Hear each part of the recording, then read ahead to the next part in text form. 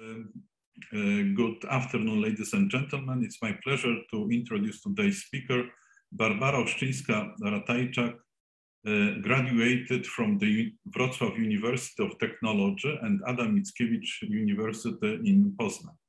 She obtained her PhD degree in chemical sciences at the Institute of Bioorganic Chemistry of Polish Academy of Sciences in Poznań. In 2013, as a postdoc, she joined bioinformatics and genomics uh, program at the Center of Genomic Regulation in Barcelona and also became a member of GENCODE Consortium. This was the moment when she discovered her passion for long non-coding RNAs.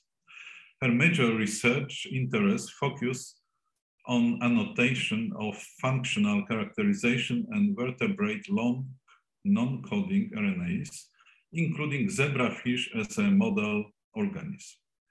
Her research contributed to development of a new methods for full-length long non-coding RNA annotation and high throughput scales.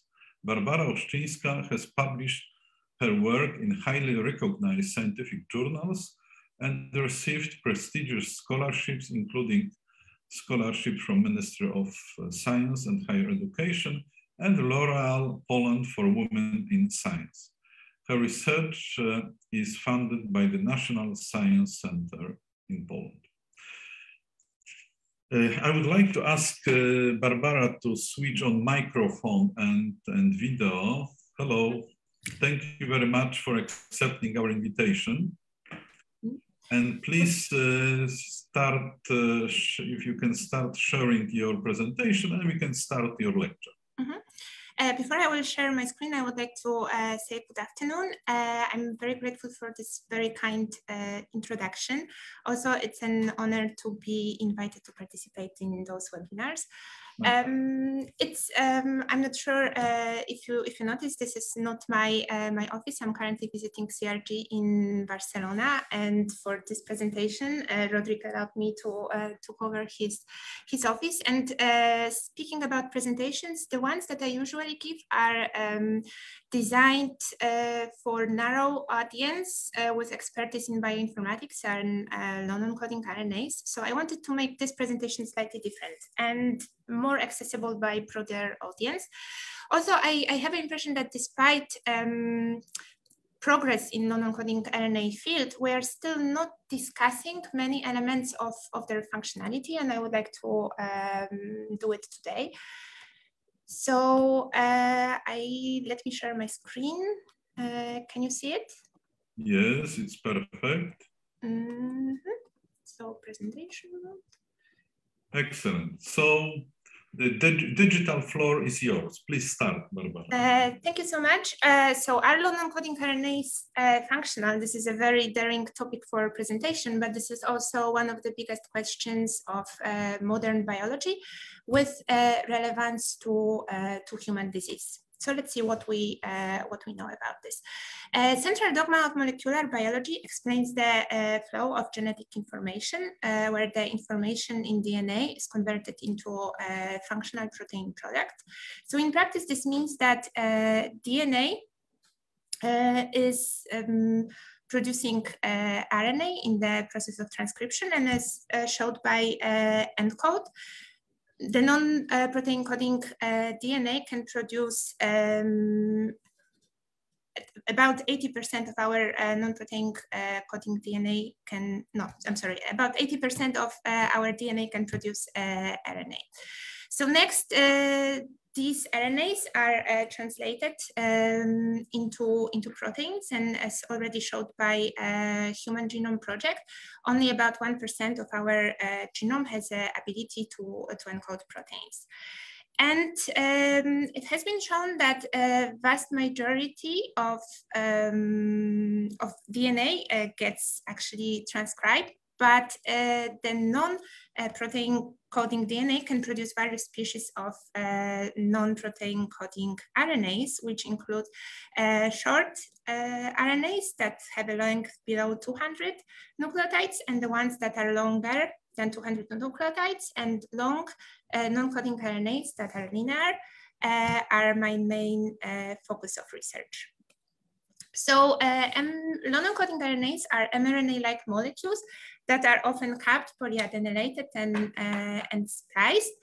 However, they do not encode any recognizable protein product, which means that their final product is actually um, RNA. And this triggers serious consequences at various levels, including subcellular localization.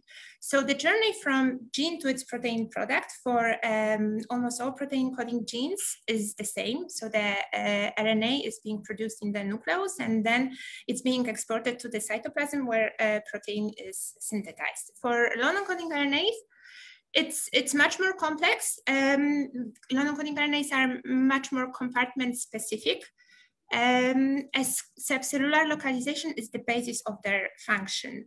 Uh, it's related to lower stability of RNA, which needs to be immediately delivered to specific compartment, uh, its place of action. And as a, a result, we see many different populations uh, of long-coding RNAs in, uh, in the nucleus, cytoplasm, also located in mitochondria, and, and, and ER.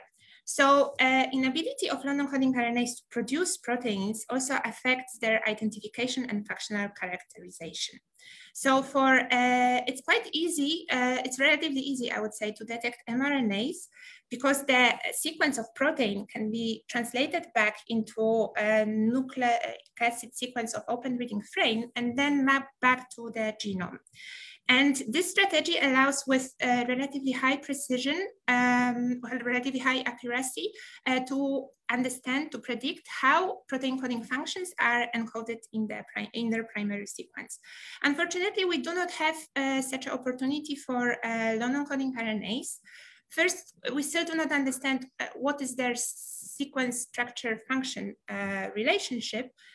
Mm, and also there are not many uh, sequence uh, specific and functional elements that could help to, uh, to identify them and functionally characterize. So, uh, and this is actually reflected by this plot. So uh, the vast majority of uh, almost the, the, protein coding set is almost complete and the vast majority of um, protein coding genes have been functionally characterized. Although the estimates for non-coding RNAs far exceed the number of protein coding genes in our genome, only a small fraction of them have been accurately annotated. And uh, despite the challenges, the, uh, the annotations are presently uh, exceeding um, our ability to elucidate uh, non-coding RNA functions, and as a result, less than 2% of non-coding RNAs have been uh, functionally characterized. Non-coding RNAs, uh, the ones that we know, uh, actually uh, use various uh, mechanisms to, to perform their functions, and um, some of them are, are listed here. So um, numerous non-coding RNAs have been shown um, to be involved in crucial biological processes, uh, including regulation of uh, transcription at the epigenetic, uh, epigenetic level. Uh, and also um, they, they can regulate um, cellular uh, cell proliferation and, and growth. Uh, there are also some iconic examples of non-coding RNAs with well-defined uh, functions, including um, role of XIST in uh, dosage compensation uh, in Eutherian species, uh, COOLAIR role in regulating flowering in Arabidopsis thaliana, and also MALAT ability to um, the well, um, MALAT in cancer development and, and progression.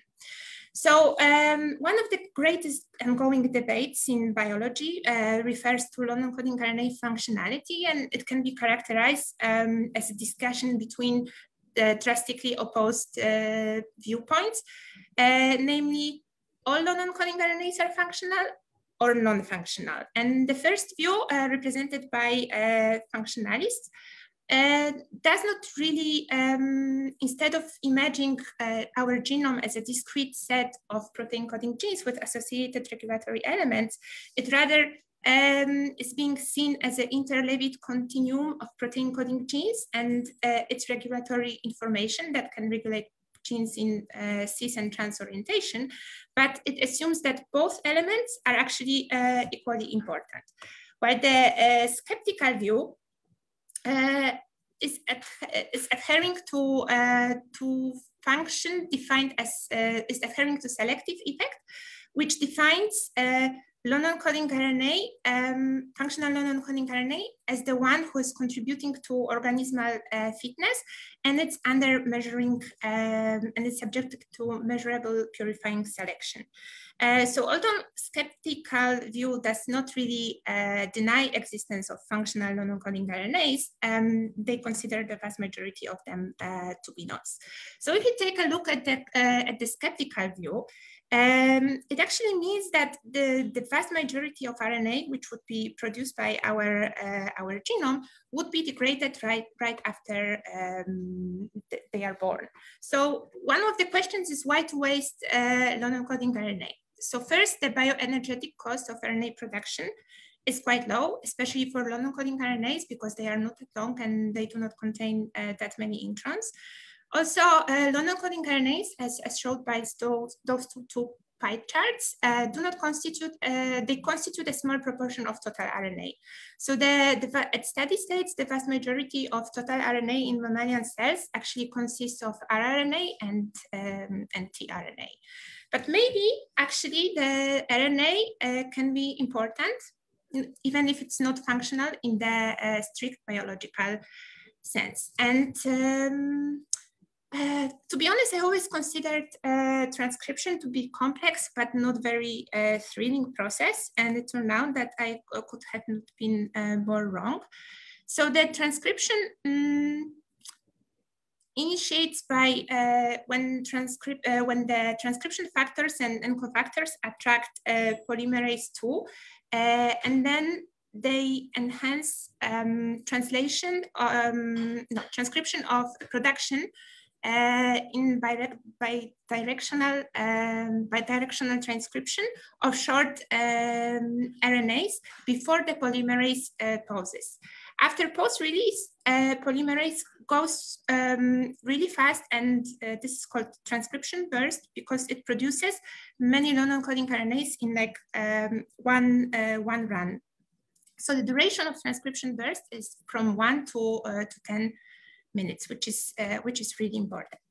So here I'm showing you the uh, classical um, system, like uh, in, in classic uh, system in, of transcription in mammalian cells, which includes mediator, RNA polymerase, and also transcriptional activator, GAL4.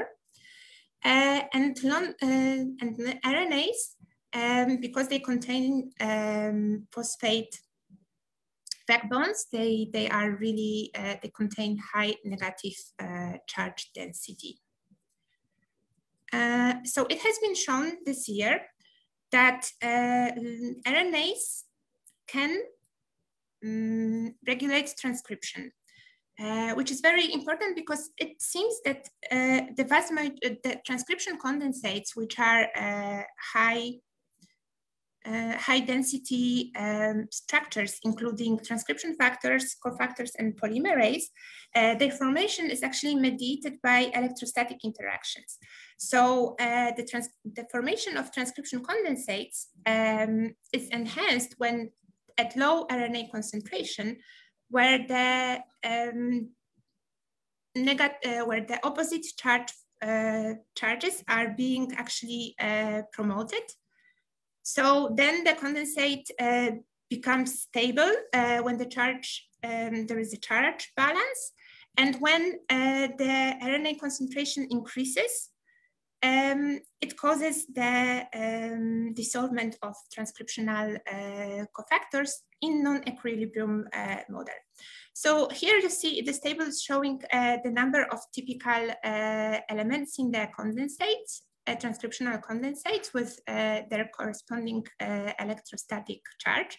So if you compare the numbers of proteins and uh, here mRNAs, you will see a massive difference in the total, total charge. So um, it seems that at uh, RNA at physiological um, levels can either promote or uh, dissolve condensates, transcriptional condensates, uh, which means that although we do not really know the role of uh, the vast majority of non-encoding RNAs, it, some of them might actually regulate transcription, mm, of, uh, of neighboring genes just because uh, of their presence, especially if mRNA is producing sense intronic uh, non-encoding RNA, which is stable and it's not regulated in any way. But is it really a, um, a function? Um, so uh, the condensate formation is not really uh, affected by RNA sequence, so sequence does not matter. What really matters is the length um, and also the molecule type is not very important because uh, the same RNA can be uh, replaced by single-stranded DNA sequence, which is of the same length. What, what is also important is the rate of diffusion. So uh, slow diffusion means that RNA will be uh, accumulating close to transcription um, sites, which is, which is important for condensate formation. So uh, accumulation of RNA also is important for um, spatial organization of nucleus. Uh, and this year, um, actually this month, uh, a new paper uh, was published from uh, um, Mitch Guttman's lab. And they showed that uh, non-encoding RNAs that are enriched in chromatin, um, I actually, they, they localize close to their transcriptional loci. Um, so you can see here the black ones are the ones that are uh, chromatin enriched um, and the ones uh, listed here in red are the ones present in cytosol. So they are depleted uh, near the, the transcriptional loci. So the difference here is also the outlier is MALAT1, uh, which is chromatin enriched. However, it's present um, all over in the in the genome, so it's not really clear what is um, what is the difference between MALAT and one, uh, MALAT one and the rest. But what is really important is that these non-encoding RNAs are really stable, so they have a, a stability comparable to uh, or even slightly higher than uh, mRNAs. So in this scenario, uh, if the non-encoding RNA is located close to its uh, transcriptional loci and it's stable, it means that it doesn't have to be present in high concentration just to perform um, its function. And this is what was uh, suggested by, uh, by Guttman that um, non-encoding RNAs can be, um, can produce high concentration territories in the uh, internucleus, which helps to um, which helps to shape their functions.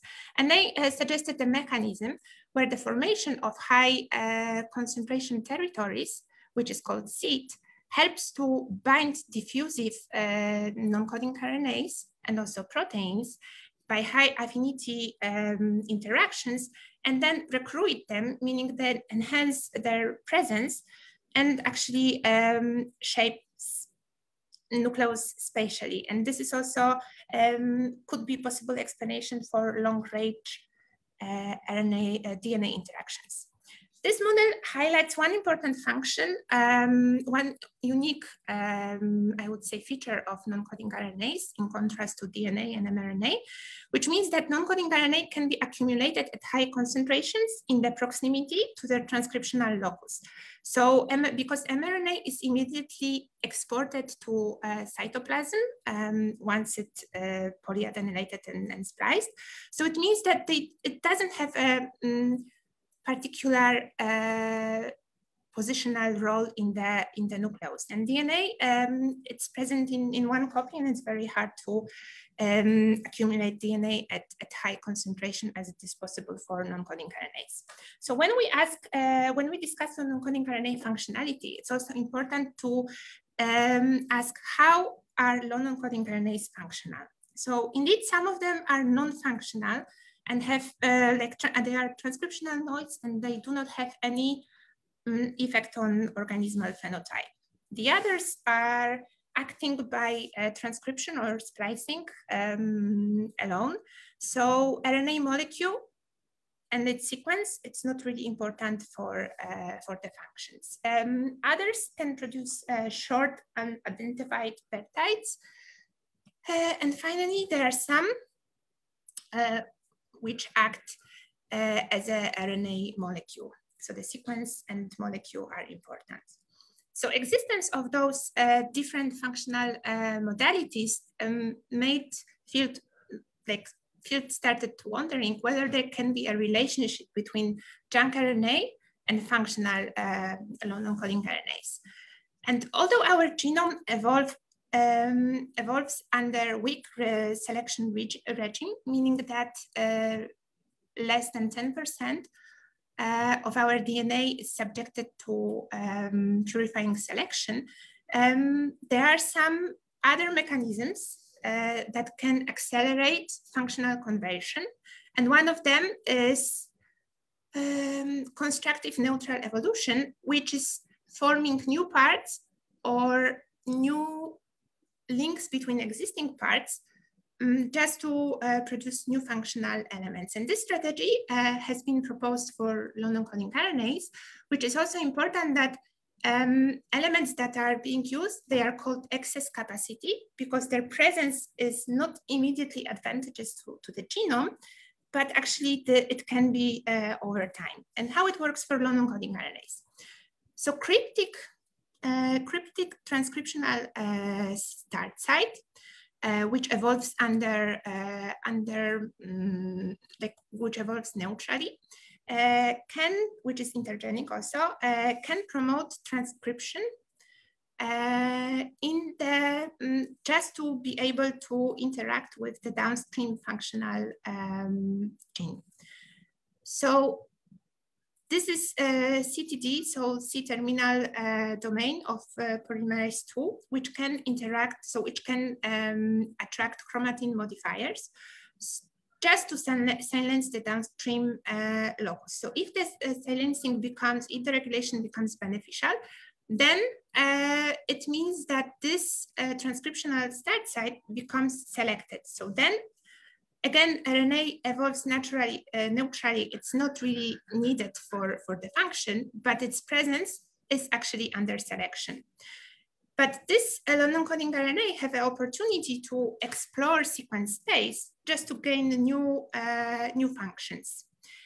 And over time, it can become uh, it can become functional, and then it's actually regulating the um, the gene located uh, downstream. So it means also that uh, non-coding RNAs can see. Um, I know I can switch it up. So uh, long non-coding RNAs, they, uh, this evolutionary model actually fits uh, perfectly the uh, spandrel concept. So it means that junk uh, transcripts resulting from functional transcription events, they are necessary byproducts of adaptive evolution. So this is like an um, intermediate product of, of evolution. But over the time, uh, over time, they can are uh, they are accepted for new functions. So surprisingly, many new elements in our genomes, they do not really appear de novo, but they are uh, appearing from uh, rearranging what is already present there. So it's like, uh, are, I would say, limited evolutionary uh, tinkering. So as a, as a result, junk is actually not garbage as it provides resources uh, for evolution to shape new functional elements and, and further contribute to, um, to organismal complexity. So let's look at the non-coding RNAs uh, from the annotation perspective. So GENCODE is the gold standard uh, non-coding RNA annotation um, because it's evidence-based, manually curated. Um, and also we um, experimentally validate our, uh, our models. GENCODE produces only annotation for human and, uh, and mouse genome. So how we, uh, how we do it? So the sequence, the bare uh, sequence of human genome does not contain any information, does not provide any information uh, about functional elements.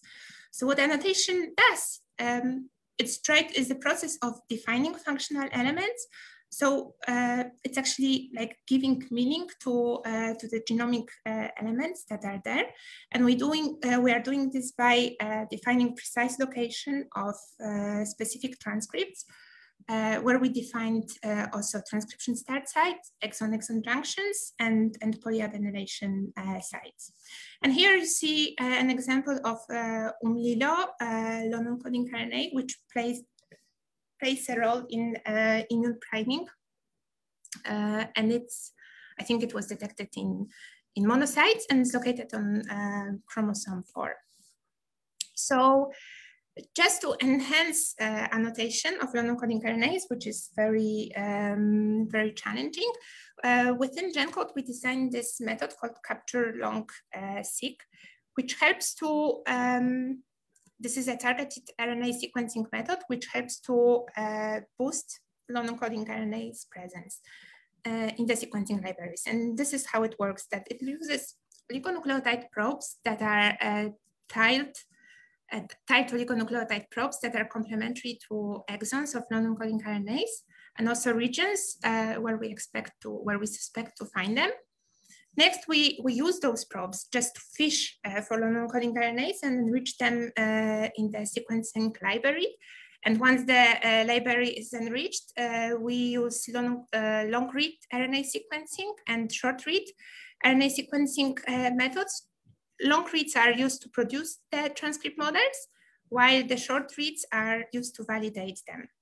So this is uh, this approach was uh, very um, very successful. Actually, we we managed to produce many uh, many new transcript models. However, it doesn't change the fact that the annotation is actually based again on the transcriptomic evidence. So no matter how much how um, hard we try, Still, the annotation will contain functional and non-functional elements, which hampers their functional identification.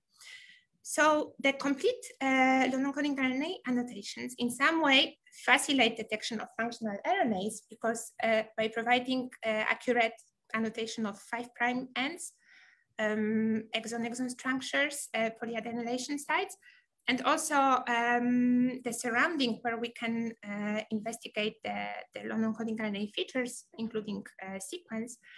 But we would like to push it at least a bit uh, further. And we started wondering, can we facilitate the annotation of potentially functional uh, non-encoding RNAs? So function um, in biology is inherently fuzzy notion because it can be and it has been uh, identified um, at different levels. So uh, one question, usually what uh, molecular biologists are doing when they refer to function, they are asking a question, what it's doing. Um, however, I think we should uh, ask, we should phrase the question uh, in a different way, why it's there, because this is a more accurate definition of uh, presence of functional elements uh, in our genome. And this can be reflected by, uh, by the example of heart. So when we ask uh, what it does, we are referring to casual role of heart, which is producing a beating sound. But when we ask wh why it's there, it's there because it's pumping blood around the body. And this is actually the reason why it was located there. So we started wondering how many conserved non-encoding RNAs um, do uh, three species share, human, mouse, and, and zebrafish although the, the estimates um, given by other studies was not, were not very promising with six uh, human and zebrafish orthologs and 10% uh, of uh, non-coding RNA orthologs between uh, human and mouse. However, these estimates were mainly um, obtained using uh, whole genome uh, comparisons or um, just by comparing sequences of non-encoding RNAs, which as you know already, um, from this presentation, this is not the best uh, strategy. So we decided to um, use synteny and synteny allows to identify uh, conservation of homologous genes and also the order of genes between uh, genomes of different species. And I will show you uh, how it works using uh, human chromosome 12. So uh, colors refer to different regions and they have a, um, the ones that are present in the human chromosome 12 have a corresponding regions in chromosome 6, 15, 5, uh, also 16 and 10 in mouse. So it means that synteny can be spread in different chromosomes if you, if you compare different species. So together with uh, Rory Johnson, we designed a um, new method for uh, detecting um, positionally conserved non-encoding RNAs, which is called uh, connector. And connector is uh, synteny-based, which means that rather than looking at specific non-encoding RNA sequence, it is looking for um, conserved blocks of sequence. So connector can work in two different modes. Uh, using uh, exonic and genic overlap, uh, using exon boundaries or genic boundaries uh, respectively. And this is to get positionally conserved orthologs which often have a different uh, structure. So what is conserved is the position and the genic neighborhood, but you can see that the structure and the location um, across chromosomes is, is different. So uh, we use GENCODE annotation um, for connector to, to, to, start with, and we uh, checked how many long non-coding RNAs orthologs we have. So the blue, dark blue bar shows the uh, proportion of non-coding RNA orthologs. Uh, the, um, the light blue bar uh, shows the ones in the intergenic regions and non-lifted, uh, which is a great fraction, great, fra great fraction, sorry. Uh, it means that uh, these are the regions that could not be lifted from one genome to, to the other. So HG38 means that these are the human non-encoding RNAs which were lifted, like converted uh, to mouse genome, uh, and here vice versa. So this is mouse genome uh, with all the non-encoding RNAs and regions mapped to, to human genome. For zebrafish, the, the, numbers are not that thrilling. So you can see that uh, the vast majority of long encoding RNAs, um, human and uh, both human and, um, I know you don't see it. So human, uh, were not really, we were not able to, to leave them. However, there is still some uh, number of those that have an ortholog and are located in the uh, intergenic uh, space. So uh, because connector, uh, and we already know that connector depends on the on the size of the input. So the, the bigger annotation uh, you give, the, the better results you can have.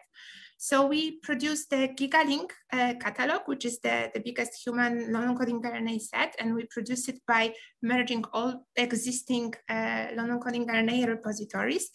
And we uh, produced a non-redundant transcript set, which was collapsed further in the, um, in the set of genes. So the existing transcripts were assigned to, uh, to loci. And as you can see, so the top panel is, these are official annotations and the bottom ones are uh, GigaLink. So the proportion stays, but in terms of uh, absolute numbers, there is, a, there is a massive improvement, especially here, if you look for uh, regions that are um, human non-encoding RNAs that are um, lifted over to mouse genome, but are located in the intergenic space. And this is to give you the, the absolute numbers.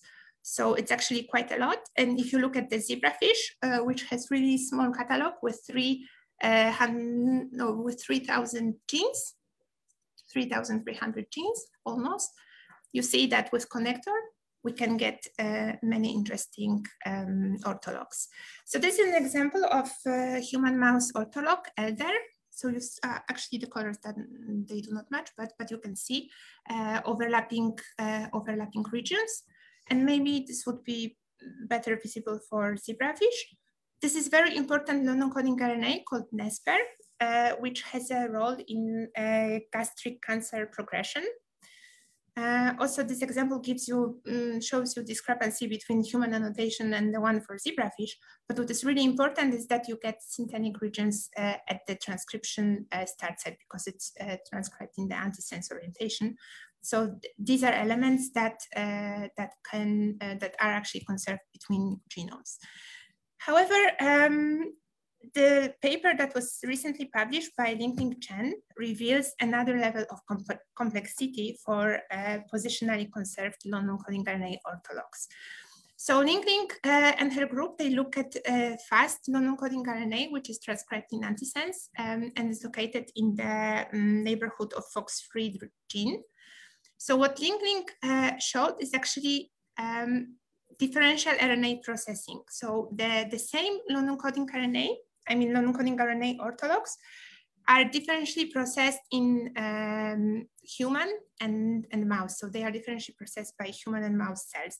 So in human, actually it's opposite, I'm sorry. Uh, so in mouse, uh, so mouse is on the left. So mouse, uh, the, the fast stays uh, in the nucleus, but for human, actually it's uh, released to cytoplasm and it's regulating um, WNT uh, pathway. So please um, just think about the labels in a um, reversed way.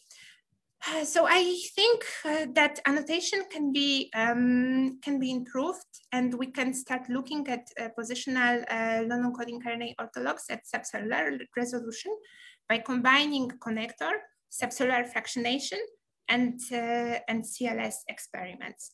So studying uh, positional non-encoding RNA orthologs will also help us to look at them at high resolution and this is what, this is the model I would like to, well, I expect to see, is that, uh, for example, in fish, uh, you see the junk RNA, like non-functional one.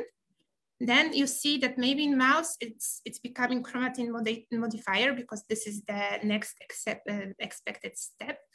And finally, it becomes uh, functional in, um, in human. But there might be some uh, human-specific effect, so it, uh, it would be also good to combine it with different resources. For example, uh, using primates, um, and there was a new resource, like very interesting resource uh, created by um, Professor Makałowska's lab, when they look at the synteny in, uh, in primates.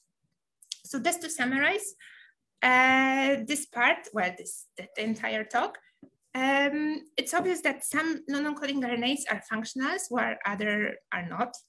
Uh, but the estimates uh, differ drastically. I mean, the proportion uh, of non-encoding RNAs envisioned as functional, um, it's, it's really uh, different by, by, if you look at groups and, um, and other um, factors. But there is a evolutionary support for junk uh, RNA because our genome is uh, evolving under a weak selection region, uh, regime. So it means that uh, our genome produces um, like junk, which is constantly changing. So um, yes, basically this gives us uh, a fuel for producing new uh, new functional elements. And those initial um, initially non-encoding RNAs are necessary byproducts of adaptive evolution, which fits the uh, spandrel concept. But um, I think this is my uh, personal view that uh, we often forget that as scientists, we should disprove things. So we should prove things wrong. So we should use, we should use empirical falsification. So I would suggest that for non-coding RNAs, we should start with the hypothesis that they are non-functional and we should try to uh, disprove it. And uh, even if 10% of current non-encoding RNAs will be proved to be functional, this represents a new wealth, uh, a wealth of new biology with direct relevance to, uh, to human disease. But also what is really important that recognizing functional significance of positional conservation is crucial, especially for those non-coding RNAs that have diverse um, sequences, so divergent sequences. Uh, and just to acknowledge, um, this is uh, these are the members of my group. Um, I put them in the order of appearance. So Monika Kwiatkowska, uh, Wirga Dekar, Ania Korach and Marta Blankiewicz. I'm also uh, supported by Jan uh, Podkowinski and Natalia Koralewska, who helped me to supervise my interns. Also, my lab is hiring, so we are looking for a talented postdoc. And these are my uh, collaborators. So I collaborate with GODLab um, from University of Dublin. Uh, I'm very grateful to Rory Johnson, Carlos, Hugo and Panos, also uh, Catalonia, uh, Silvia Carbonell for her help with CLS and also Zebrafish project, Carme for technical work and uh, Roderick, uh, of course, for everything. Um, EBI UK, it's a part of experimental GENCODE team. I'm also super grateful to Professor Jacek Kuźnicki for his support and, and help. Uh, and also we say a huge thank you to Zebrafish Core Facility headed by uh, Joanna Dodian for help with Zebrafish samples and also administrative support who uh, Agata Chmielewska and Romina who helped me a lot. And to be honest, I think these two could uh, run the world. Uh, so with this, I would like to thank you for your attention and I'm happy to take questions. Uh, thank you very much. Barbara, could you unshare your presentation, okay? Yes. So it's uh, time for the questions. If you have the question, uh, you can use Q&A form, the chat on the on the bottom of your screen. Let me let me check. Uh, there is some question in the in the chat, uh, but please use this Q&A form. Let me let me uh, read the. Um, let, let me read the first question. Uh, first uh, part, it is just a compliment for a very interesting talk. Uh, is it true that number of evidence is growing on the regulatory role of long non-coding RNA on the miRNA and this way involvement in cancer development? Um, that's a very interesting question. Um, I think there is no, I mean, in general, the, um, the role um, the regulatory role in of long encoding RNA in cancer is growing, but there are different mechanisms. So they, they can act um, solely just to uh, induce or suppress cancer, but they can, um, I mean, solely meaning interactions with, with proteins and so on. Uh, but they can also engage microRNAs. And uh, one of the ways I could envision is that they, um, they are precursor of microRNAs, or also they can interact using them as, uh, as molecules. So the number is growing, but there is not a specific mechanism for this. Thank you. And the, the second question, could you tell us how did you prepare library of long RNAs and how did you conduct sequencing? Mm -hmm. uh, so this is uh, this could be uh, probably uh, better answered by by Silvia or Monika, but uh, I will try. Uh, so we prepare full length libraries. And what we do, so this is like the regular library for Nanopore or PacBio because CLS method is uh, platform agnostic. And then uh, you design the probes that are tiling your long encoding RNAs, exons that are complementary to, to exons of your long encoding RNAs, or the regions that you are interested to enrich. And then you simply uh, use, uh, I think this is um, streptavidin, and then you, uh, you simply enrich for those and the enriched library can be uh, can be sequencing um, according to the uh, sequence, a platform sequence provider. I don't know if this answers your question. If yes, uh, um, and, and, not, and, the next uh, and the next question. Uh, what do you think about the long non-coding RNAs function as a sponges for miRNA? Is it working? Mm, I maybe I'm not the best person to uh, answer this question because I'm very skeptical about sponging uh, activity. I have the impression that sometimes when scientists run out of ideas, they say long non-coding RNA has a sponging activity. Of course, some of them they do, but I would say um, sponging activity uh, is something that I would envision more for circular RNAs because they have uh, bigger surface and they are more stable. So if it's something that, that should really sponge, maybe circular uh, circular RNA, but I, I think it requires further uh, investigate, investigate, yes, and further work to, to understand how it works. Okay, I do not see more questions. You can still ask the question. Uh, I would like to inform you that uh, that we have uh, both on uh, Zoom and on streaming Facebook around 90 participants. And uh, just the information that your lecture and this lecture will be will be uh, soon on YouTube platform of Polish Biochemical Society, uh, as, as it is done with all other lectures. So if there is no other lectures, I think uh, other questions, we can uh, we can stop. Ah, still there is something on. Ah, that's a compliment. Compliment, very good lecture. I fully agree with this opinion. Barbara, thank you very much.